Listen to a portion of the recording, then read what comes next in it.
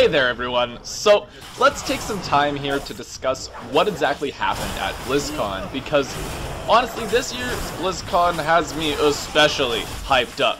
And after BlizzCon's closing, my sisters and I all found ourselves resubscribing to World of Warcraft. So, let's talk about what happened and why we decided to make this decision.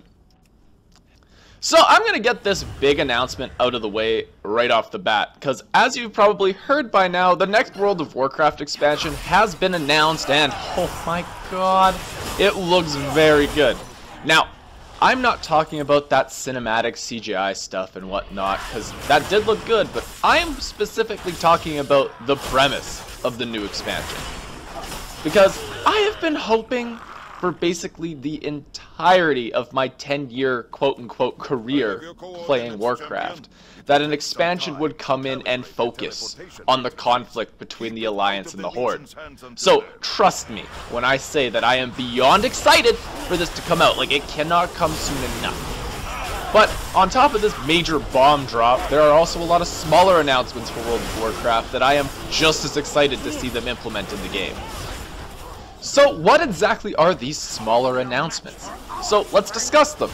First, and just to get this out of the way, the Legacy community did it! Yeah, okay, so Blizzard is finally going to support Legacy servers, which is pretty much like really far overdue. Luckily, people like Elysium have existed prior, but these servers are going to be by Blizzard themselves, and they're going to be the vanilla experience as of the time of posting this video, if they decide they want to change it, that'll be at a later date. Now, these servers are going to service the Legacy community, and let's be honest, the Legacy community has been given the short end of the stick for a long time. But that whole Legacy announcement is just the tip of this iceberg. So let's talk about the other stuff that's going to happen in retail. Now, there's a variety of changes that are going to be coming to retail, but a change that is actually going to come out prior to the next expansion launch is that Blizzard is finally going to fix the whole leveling issue. Now, as all of you are probably aware, if you were to go and try to quest in zones, you are very quickly out-leveling the monsters that dwell there. And that makes your questing experience lackluster at best, like really bad.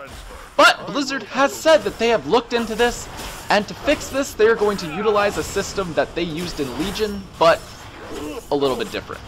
Now, they don't want to have the boars standing outside of Orgrimmar be a level 110 with you, but they do want to have the leveling players get the story out of the zones without being 5 levels higher than the creatures that are there. So, they're going to expand the level brackets and then have the creatures level with you up until the ending of those leveling brackets. Now, this is great. The larger gaps solve the problem that altoholics like myself have experienced time and time again.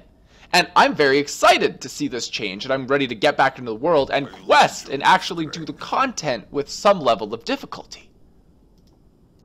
Now let's move to the coverage of the actual new expansion itself.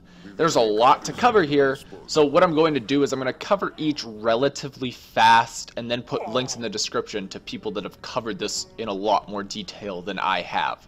Now, first off, I want to talk about sub-races, because Blizzard is going to be putting in six new races into our game that are very heavily inspired by races that already exist. Now, things like Highmountain Tauren, or Light Touch Draenei. Now that's pretty high level of inspiration if you ask me, but if all of this is true, this new race change coupled with the leveling change I talked about like a minute ago, uh, is pretty neat, and you can bet that I will be leveling some sub-races, because they look pretty cool. Number two, island exploration stuff. So, for new endgame content, they're adding into the game scenarios that you can go and explore with three people. Now, these scenarios are very similar to the ones that they implemented in Mists of Pandaland. Now, this is great, because there are, again, three players, and the three-player experience I am always happy to see get improved, because I often play in groups of three, and I personally will probably be using this feature a lot. Now, on the other great side of this, it seems like there's going to be near infinite amount of these scenarios because they're apparently always going to be different in some way or another. This is really great because it'll never really feel old and repetitive in theory. Now, if that's true, that's awesome because we all know what dungeon fatigue feels like. Anyway, Bellular, Bellular, Bellular, I don't know, covered this, so I'm going to link to his video for this one. 3.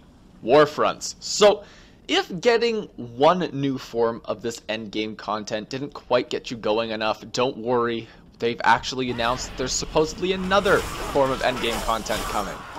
Warfronts are supposedly going to be 20-player PvE style scenarios that basically seem to mimic the progression style done in a typical Warcraft 3 level.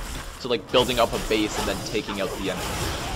These all focus on the Alliance vs Horde conflict, and once again, I am so excited for this expansion. Alliance vs Horde conflict is my now, the final thing I'm going to discuss here in this video is the changes coming to the Warcraft servers themselves, because it's actually pretty neat. Basically, the PvP and PvE tags are going to be removed from the servers, and players are instead going to be able to opt in and out of World PvP. By opting in, you're going to get phased into a new realm where the like-minded individuals are going to be present and ready to rumble. Once again, my hype for this is uncontained. When I'm leveling on a PvP server and I have to be flagged in Outland, I won't get like destroyed every two seconds because people at max level have nothing better to do with their lives than to kill level 60s. Now, of course, there's a lot more that I could cover here, but this video is already getting a little long. These are the things that I am the most passionate about. If you want more information on this stuff, Bellular made a great series of videos on the BlizzCon announcements, so I'm going to link to his channel in my description here in case for some reason you just haven't heard of him. Now, to conclude this video, I have a poll question to ask you. Will you be representing the Alliance or the Horde in the new expansion? Vote in the poll by clicking the I in the top right corner of the screen, and then explain your loyalty in the comments down below. Now, if you'll excuse me, I have some leveling to get done. I hope you're all excited as I am for this new expansion to come out. Anyways, this is Keltick. Subscribe for more content, and have a casual day.